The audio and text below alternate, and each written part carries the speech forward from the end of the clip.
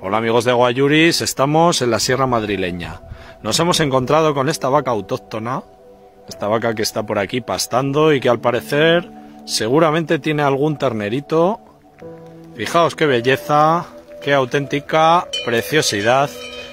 Y es que nos estamos dando cuenta de que por toda España se está atacando a la ganadería. Se está atacando a la ganadería, no sabemos exactamente cuál es el fin, pero creo que Pilar Esquinas puede arrojarnos un poquito de luz sobre el fin de atacar y extinguir a los ganaderos españoles, ¿no, Pilar? Pues sí, amigos, y es que los ganaderos españoles son los verdaderos guardianes del territorio. Cuando vienen a dar una vuelta a su ganado para ver si está en perfecto estado y sobre todo pues ver si han bebido, han comido, que, en qué zona están, se están moviendo, pues también controlan pues que no haya incendios, que, se, que los caminos estén en perfecto estado para poder llegar.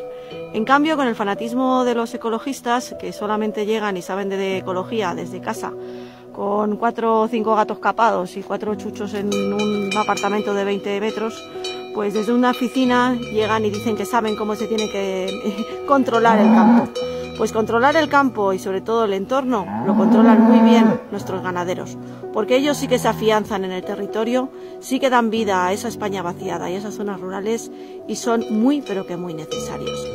No a la extinción de la vida rural, no a tener que meternos en ciudades de 15, de 30 minutos, controlados sin coche y sobre todo sometidos a comida de fábrica que no solamente perjudica nuestra salud, sino también que impide que tengamos libertad de poder acceder a toda nuestra historia y a nuestro entorno.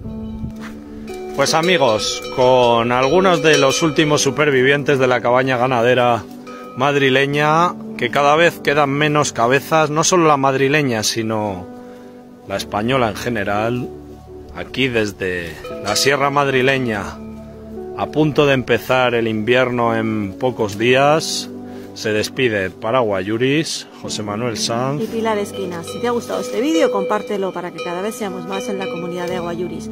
Y sobre todo, nos puedes localizar en Telegram, en TikTok, en Instagram, en Facebook y sobre todo en el teléfono 639 280984. Un fuerte abrazo.